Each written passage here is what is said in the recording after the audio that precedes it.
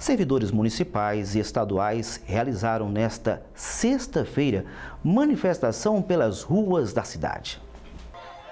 Em frente à Secretaria Municipal de Educação, os servidores, usando roupas pretas, fizeram um cortejo fúnebre pelo fim do pó de giz, gratificação adquirida há 18 anos e que agora será incorporada ao vencimento básico, o que os professores não estão de acordo.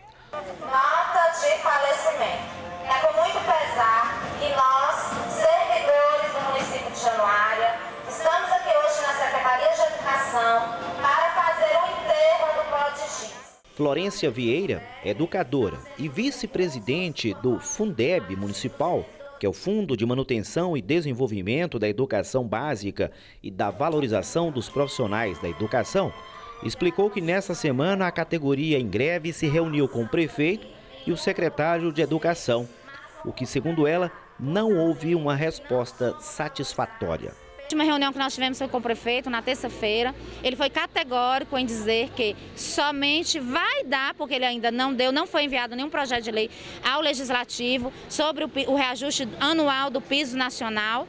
É, ele não enviou ainda, então hoje nosso vencimento é R$ 1.732 e ele foi categórico que não vai pagar nada mais além do que os R$ 2.307. Ele vai acabar com o giz, por isso que nós estamos aqui em luto pelo giz, porque ele vai morrer conforme, a, salvo se os vereadores, né, após enviar o projeto de lei, os vereadores tiverem um entendimento que é um direito adquirido e que, e que estiverem realmente do lado da população, do lado do, do povo, do lado dos professores, que são servidores. Porque as pessoas confundem vencimento básico com remuneração.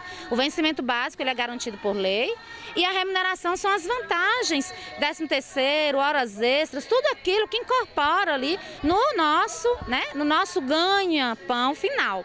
Hoje um professor é, que tem um, uma carga horária né, de 24 horas, ele tem um vencimento básico de R$ 1.732 recebe o pó de giz no valor de 15%, que dá 250 e poucos reais.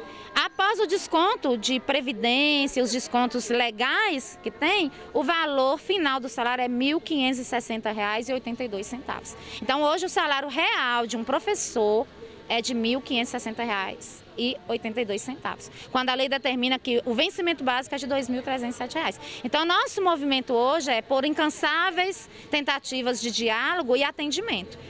Os educadores em greve prometem comparecer na próxima reunião da Câmara de Vereadores e depois definir os novos rumos do movimento. Na segunda-feira nós teremos um movimento na Câmara dos Vereadores, porque será votado né, o projeto de lei que dá o reajuste anual proporcional, porque ele vai dar apenas 7%, quando a lei, o índice de PCA, ele ficou em torno de 11,30%. O Estado de Minas Gerais deu a todos os servidores 10,6%, retroativo a janeiro.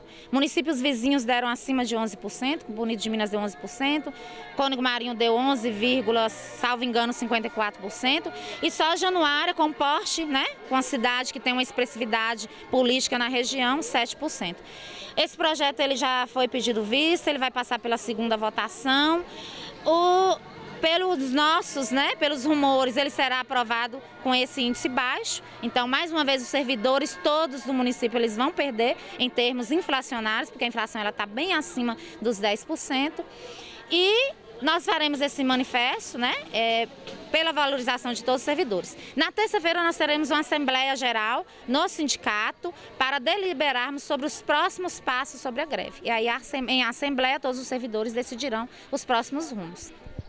Em contato com o secretário municipal de Educação, o professor Rafinha, o município de Januária somente vai pronunciar amanhã já que, segundo o responsável pela pasta, houve pouco tempo para divulgar a versão da administração. Vamos aguardar.